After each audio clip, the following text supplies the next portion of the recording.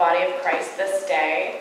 Pastor Laura will, be, will return from her pilgrimage this Wednesday, May 25th. If you have a pastoral emergency outside of our office, our office hours, please contact Bev. Her phone number can be found in the bulletin today. Today we have a guest preacher, Rob Lowe. He's the director of Justice Ministries at the Pittsburgh Presbytery, so let's all make him feel welcome today. Vacation I need to add uh, save room for clapping after my announcement. Vacation Bible School is coming up very quickly, as you all know, and you've all heard every week. I have come up here and talked about it. Registration for three-year-old three to children in the fifth grade is going on now. It will be July 18th to the 22nd, 9 a.m. to 12:30. So mark your calendars. We're also looking for volunteers for VBS that can help in any way, such as leading groups, cleanups, and if you're artistic, please come help us decorate the church the Sunday before VBS. There's an online form to sign up or you can just tell me verbally. And today is the last Sunday to sign up for the hoagie sale to benefit their mission trip to the Philadelphia this year for the youth. It'll be Italian ham, turkey, and provolone hoagies for $8, and all money and orders are due by the 25th. You can also put on Tithely, send us a check, or give us cash whenever you're available before the 25th, and they'll be available for pickup on June 5th after the graduation Sunday. Announcements. The form is downstairs by Finley Hall. We'll be collecting for the Pentecost special offering through June 5th as well. The Pentecost offering connects us with children, youth, and young adults and offers them opportunities to build a foundation of faith. You can make a donation on Sundays by using the envelopes found in the pews today, by sending a check directly to the church, or by using our Tithely app, but be sure to write PSO on the memo line. This Wednesday was our last Kids Club for the spring after summer break. It will return in September. And on June 5th, like I already said, we'll be honoring our 2022 graduate graduates during the worship service on Sunday, June 5th. And following worship, Jody Colby will be selling the fair trade coffee that benefits the mission work at the U.S.-Mexico border, so see Jody make and purchase any coffee. Are there any announcements that I may have missed today? Okay. Let us remember why we are here today. Let us focus our hearts and our minds on our Lord and Savior Jesus Christ as we light the Christ candles.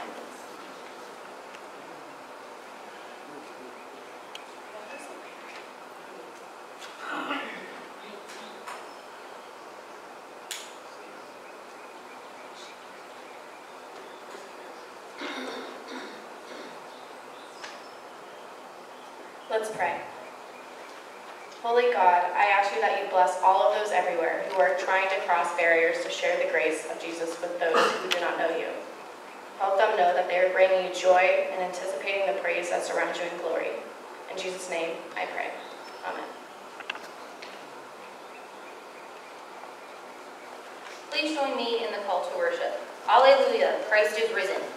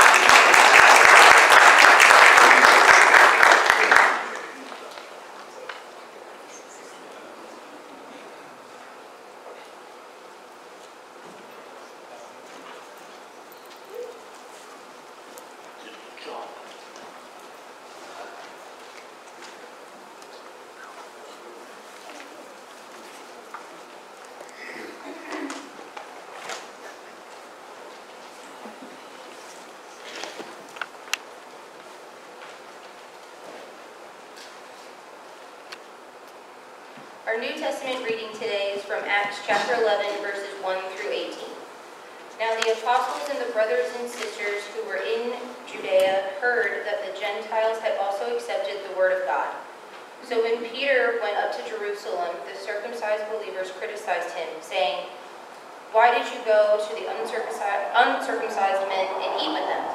Then Peter began to explain it to them step by step, saying, I was in the city of Joppa praying, and in a trance I saw a vision.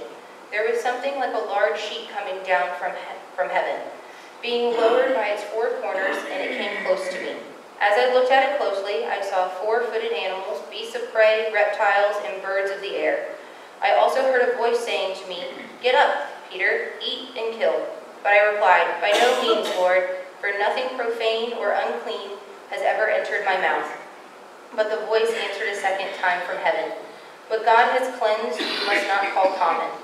This happened three times, and all was drawn up again into heaven. At that very moment, three men arrived at the house in which we were sent to me from Caesarea.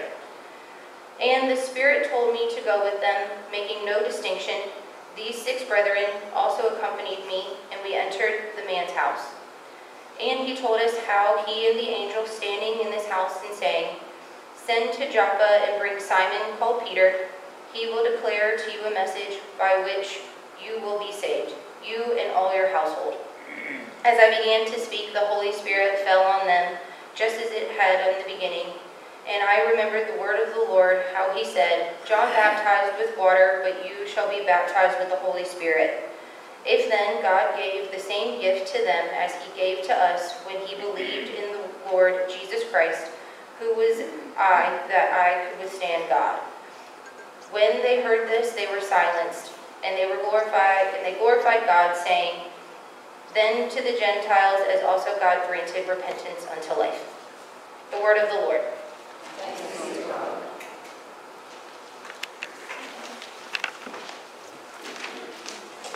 Well, good morning.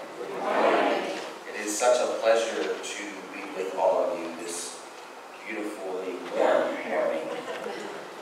Uh, I just bring, I want to bring greetings from all the leadership staff at the Presbytery, uh, Dr. Reverend Sullivan Sorge, uh, Reverend Brian Wallace, and our state clerk Carla Campbell. We pray for our churches every Tuesday. We have Bible study and worship every Tuesday morning, and we pray for our churches, and we pray for this church and all our churches in the Presbytery. So I bring greetings from all of them. Uh, I am a little saddened today. My buddy Bill Gracie is not here today. So you guys don't know this, but his, his beautiful wife does, but Bill is my guy. He is my go-to for all the things that I need in this area. He's a mentor, he's a wonderful man, and I was looking forward to seeing him this morning. But that's okay, send him my love, please. Okay. Why don't we bow our heads in prayer? Holy God, you are wonderful and loving. What we ask at this time is that your word be heard in clarity, that it blesses us in a way that we listen with our hearts, listen with our minds, so that we may apply it to our lives, that we may be strengthened. In Jesus' name we pray. Amen. My dad always had these sayings growing up, and they were important because they were life stamped sayings. He loved them. One of the sayings he would say is sometimes in life, in order to understand something or for the message or lesson to be known, you need to experience it twice. You must experience it twice in order for you to understand and listen. So, for me, it may be changing a fixture in a bathtub. The second time I do it, I fumble through it, I learn how to do it, so by the third time, I know how to do it.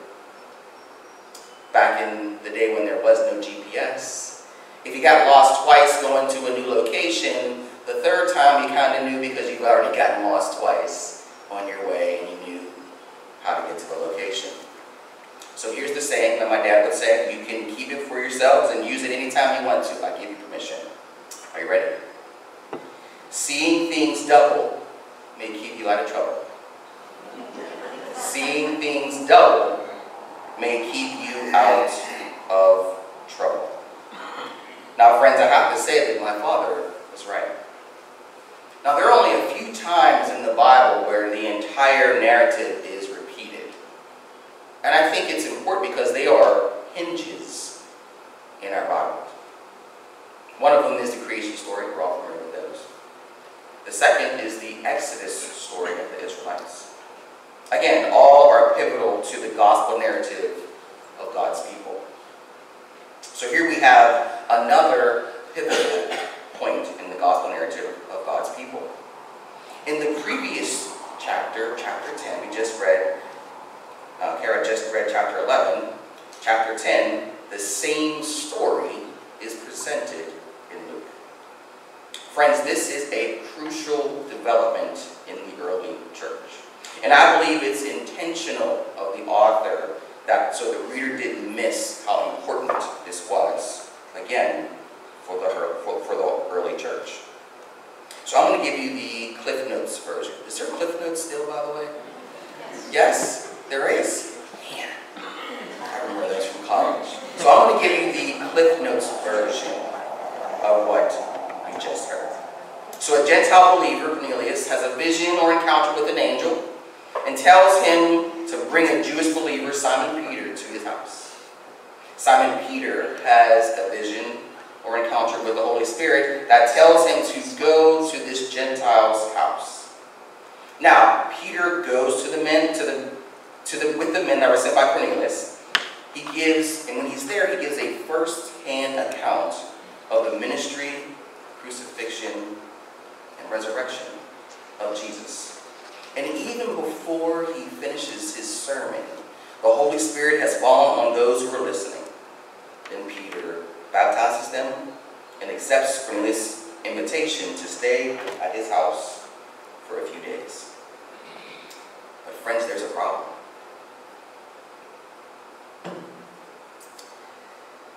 It is unlawful for Peter to be associated with any of the Gentiles, of the uncircumcised people as we read in the scripture.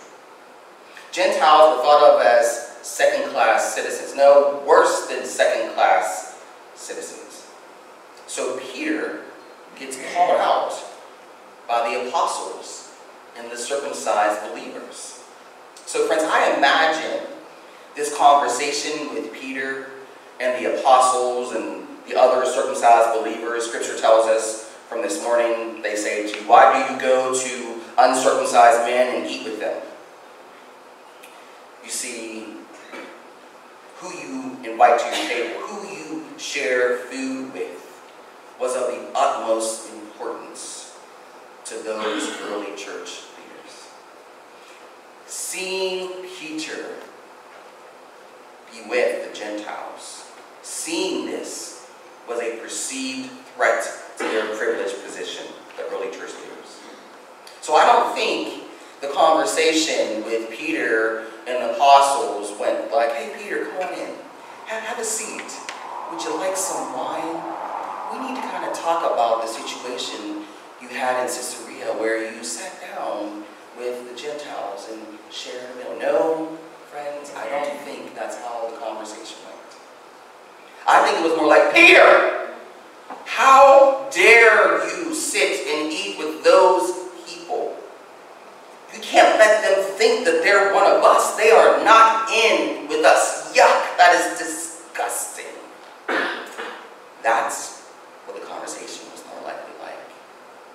See, I wanted to convey the significance of this feeling of revulsion experienced by the apostles and the circumcised believers. And as I thought about this, believe it or not, a movie came to mind. This movie, this critically acclaimed blockbuster movie sensation of 1994, The Little Rascals.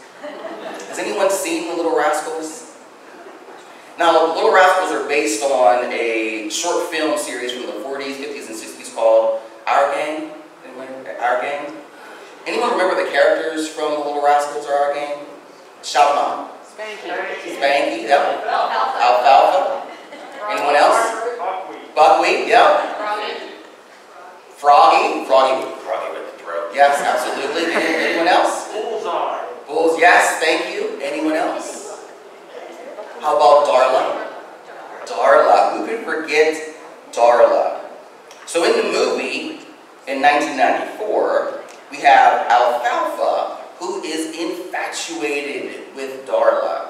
He cannot stop thinking about her. He wants to spend all his time with Darla. But friends, there's a problem. And the problem is this. He belongs to an exclusive club. And that exclusive club is the He-Man Woman Haters Club. Yes, I said it right. The He-Man Woman Haters Club. Why do they hate girls? Because they don't know how to play and they smell weird. Girls, yuck, they say. Well, as the movie goes on, Alfalfa wants his, to show his undying love for Darla. So, to show this love he has, he invites Darla to the clubhouse that they have for this he, man, woman haters club. They have a clubhouse every week. Let me just tell you, it's a serious club for them. So Alfalfa accepts. He actually makes a candlelit lunch for himself and Darla. Well, as you could imagine, chaos ensues. Spanky finds out. In order to cover up, he, uh, Alfalfa covers up the table with the lunch on it and he burns the clubhouse down. So the entire movie is about them trying to get the materials to rebuild the clubhouse. Well, Spanky, who is the president of the He-Man Educators Club, is infuriated. He's beside himself. He's screaming at Alfalfa, how could you let her in this clubhouse? She is not one of us. She is one of them. Yuck. That is ridiculous. How could you do this? Can you hear the revulsion in Spanky's call out? She doesn't belong here. They don't belong here. Now, as ridiculous as that sounds to have a club like that, because girls are awesome, those eight-year-old boys did not know any better. They thought that this was how things were supposed to be. Friends, I'm telling you that is what the apostles were saying to Peter. They don't belong. This is how things are supposed to be. These church leaders might not have known better up until this point, but now they do. Because the Holy Spirit, through the witness of Peter, showed the apostles and these circumcised believers that the barriers of separation between Jews and Gentiles must now be eradicated. Friends, I know sometimes in our culture and in our world, it seems like there are barriers that want to be put up between, barriers of separation between all of us. But we know better. We know that God's gift of redemption transcends all differences, and all are within the embrace of God's love. So I'll ask all of you, what are the barriers that allow you to exclude your neighbors? Is it political parties? Is it race? Is it sexual orientation? Is it social status? Friends, we may not have clubhouses, but we surely do find ways to say, you are not one of us. The Little Rascals movie ends with the boys realizing how silly it was to exclude girls. How having them part of their club actually makes it. Inclusion seems right, as if this was the way it was supposed to be all along. I think the hope for this morning, friends, for all of us as individuals and for the church, in these days where there is so much dissension and division, unacknowledged privilege and separation, is that the Spirit and her work of healing and reconciling is among us. We need to be open to the Spirit's works, inviting her to change the lens of our hearts because we do know better. Change happens. Our hearts respond when we are open to the Spirit's work in our lives, allowing us to see the Spirit at work in the stories of others and recognizing that same Spirit at work in their lives. Just like. Once he shared his testimony as the witness to God's work, the apostles didn't respond with, You're out of your mind, this is wrong. No. They responded with, How can we broaden the table so everyone has a place? It's taking them a while. 2,000 years later, we're still having this fight. But we're moving in the right direction because we know better. Friends, my point here is this, and I'm going to sit down. My wife always thought I get long-winded when I preach, so I'm going to sit down, I promise. But my point here is this. In our homogeneous communities, we need witnesses. No, better. You need to be a witness. Showing something new, something better, something significant. Inclusion, as Christ has shown us all as Gentiles. Earlier, I shared one of my dad's sayings. Does anyone remember what it was? Just 10 minutes ago. Thank you. Seeing things double may keep you out of trouble. The author of Acts Luke wants the reader to know, to understand this pivotal, transformative moment in the early church formation by retelling this story twice. One that reshapes the gospel story forever.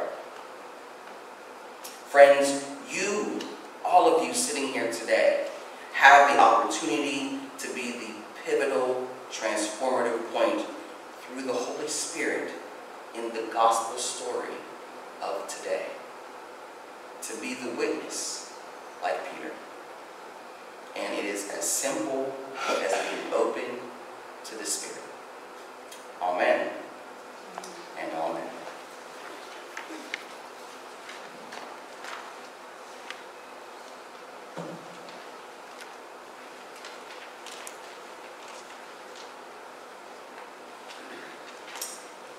I believe it's time for us to affirm our faith with the Apostles' Creed that's found in the bulletin. Let's say it together. I believe in God, the Father Almighty, maker of heaven and earth, and in Jesus Christ, his only Son, our Lord, who was conceived by the Holy Ghost, born of the Virgin Mary, suffered under Pontius Pilate, was crucified, dead, and buried. He descended into hell. The third day he rose again from the dead. He ascended into heaven, and sitteth on the right hand of God the Father Almighty. From thence he shall come to judge the quick and the dead. I believe in the Holy Ghost, the Holy Catholic Church, the communion of saints, the forgiveness of sins, the resurrection of the body, and the life everlasting. Amen. Are there any joys or concerns anyone wants to share this morning? So I have a joy to share. I have four boys, four teenage boys. I will be accepting donations for the food bill. But I'm happy to say that my oldest, my 19-year-olds are home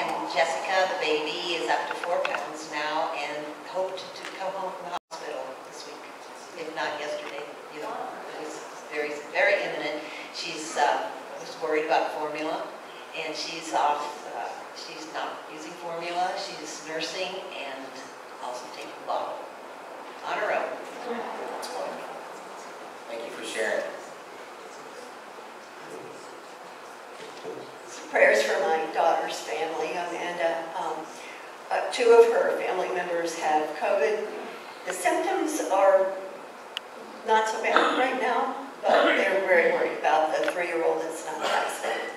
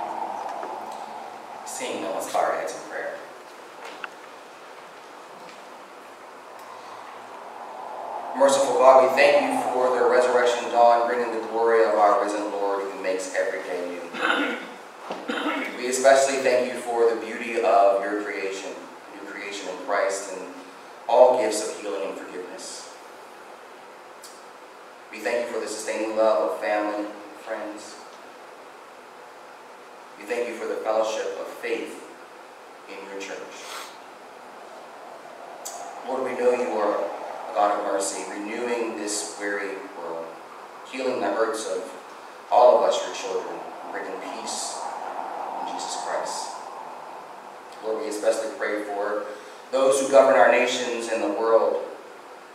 We pray for the people and countries ravaged by war. We pray for all those who work for peace and harmony. We pray for all who strive to keep our communities, our neighborhoods, our city, our nation, and our world safe. We pray for the church of Jesus Christ in every land this world. And Lord, in the next few moments of silence, hear our prayer concerns of our hearts that were left unsaid.